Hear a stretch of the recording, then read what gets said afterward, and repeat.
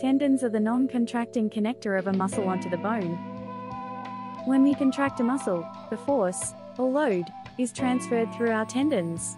Tendons have to cope with a lot of load. The right amount of load will stimulate strength gains.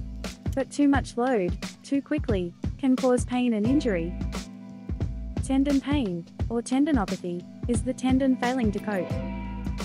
A lot of common injuries are tendon pains, sore Achilles, jumper's knee, or patella tendon, runner's knee, or ITB tendon, lateral hip pain, or gluteus medius tendon, lateral shoulder pain, or rotator cuff tendon, tennis elbow, or forearm extensor tendons, golfer's elbow, or forearm flexor tendons, medial ankle pain, or tibialis posterior tendon, lateral ankle pain, or peroneal tendon.